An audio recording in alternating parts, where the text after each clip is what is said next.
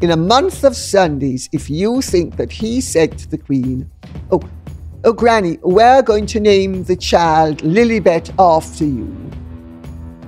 If you believe that, you believe that the earth is flat and Meghan Markle is a wonderful human being and Harry is a genius.